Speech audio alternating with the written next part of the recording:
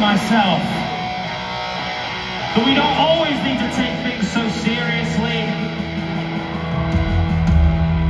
And sometimes it's a little bit better to just shut the fuck up.